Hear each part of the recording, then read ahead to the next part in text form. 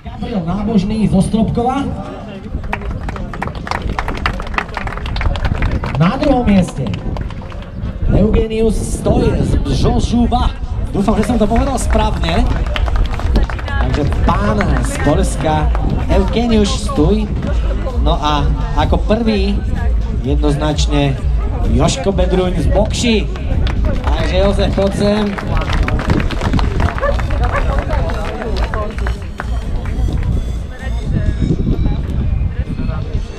Že ak máme ešte pána, pána Jana Ožďanyho z Prešova tu na niekde, kľudne môže prísť sem na pódium.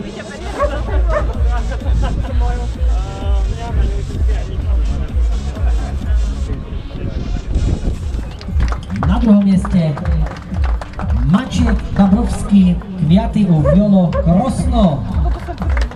Máme zastúpenie aj z Polska, a ako na prvom mieste Peter Jegalek, cyklo Spiš.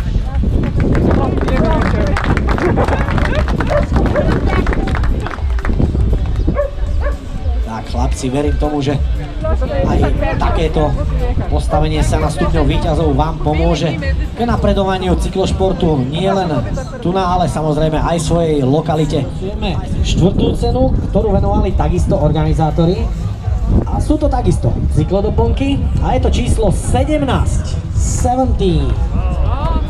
Zelená Rín.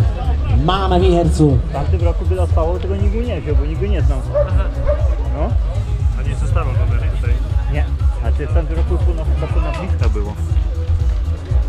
Bo mnie wylosowali mi przywiózł e, Waldek, a Marcin to Takže máme tu na výhercu. No a ideme na tretiu cenu.